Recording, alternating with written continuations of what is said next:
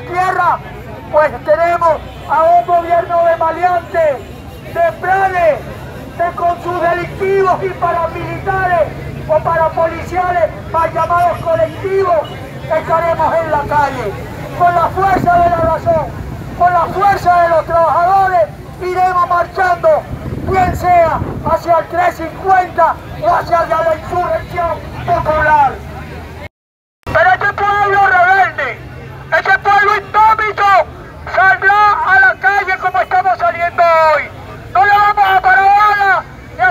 a policía ni a guardia, porque el derecho constitucional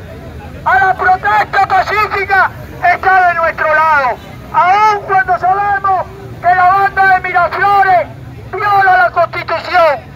Como jubilado del IPAPE y con una pensión miserable que no me alcanza para comer, seguiré en la calle, con mi asma,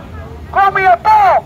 sin medicina, pero con el ánimo y la lucha de seguir enfrentando a la banda de Miraflores que se robó últimamente 30 millones